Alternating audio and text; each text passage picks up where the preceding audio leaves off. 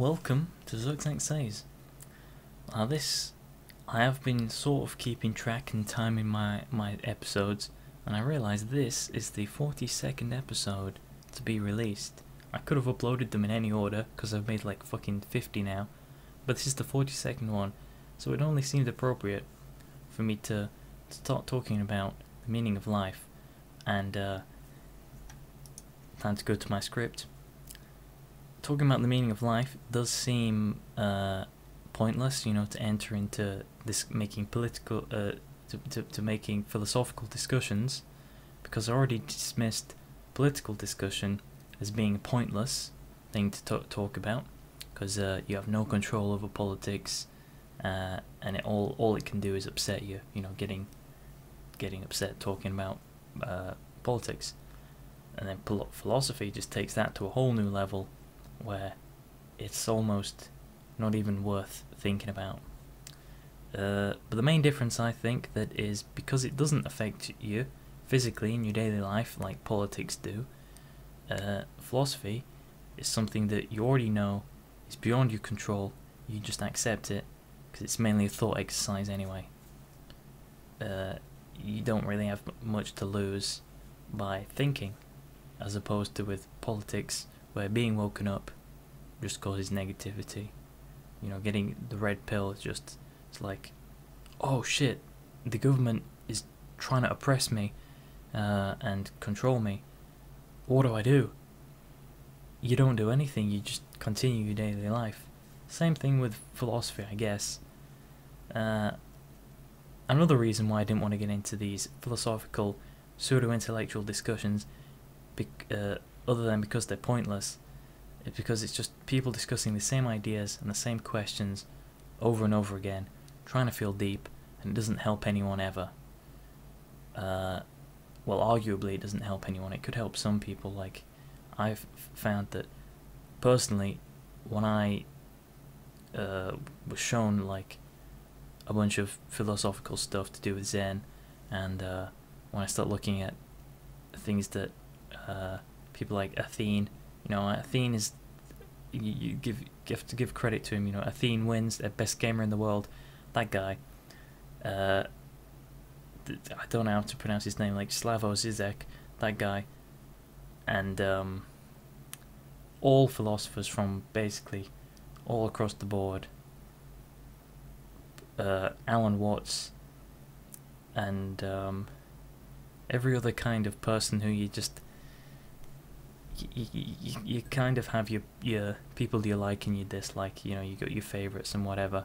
But I found that there's comfort in this the that the idea that other people have thought what you've already thought, or they give you a new idea to think about, makes you feel feel a little bit more enlightened for a second.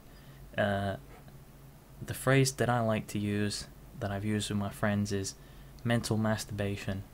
I'm sure we didn't come up with the term mental masturbation, but that's what it is. It's it's like it's just it's just this uh just nice little thing you can do to sort of pander to yourself, and it's mental masturbation's what it is.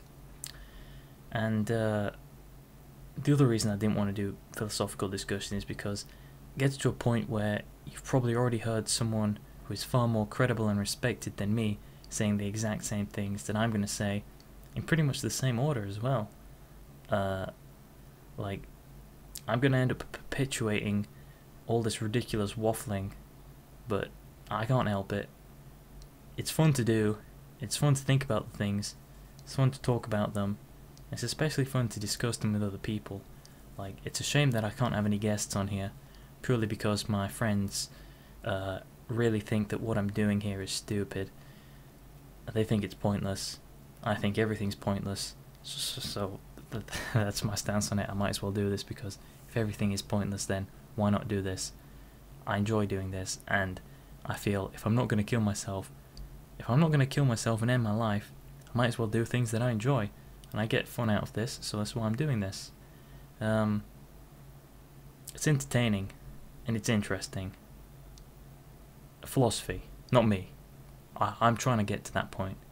I don't want to degrade myself and just say negative things because, you know, I know I am probably entertaining to some people, but I know I can do better.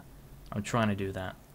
I'm going to start that by reading uh, from some scripts that I wrote about philosophical implications of artificial artificial intelligence, biologically engineering the human race, and uh, some other things like that based on based on like heavily based on a documentary I just watched before writing it, which is just like a, some fan edit thing. Someone's taken a bunch of clips and then edited them together. It's called like The Singularity is Near. I'll have a link to it in the description of that video that I make there. If it still exists on YouTube. It probably doesn't because uh, the video was made up of sources from a bunch of other different videos and it was only referenced in a sort of really weird way that can still be flagged for copyright on YouTube. So it probably got taken down.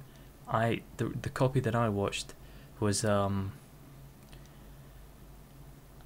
I don't want to say I downloaded a copy of it illegally because I this is naughty. Don't download stuff. Be a be a good person.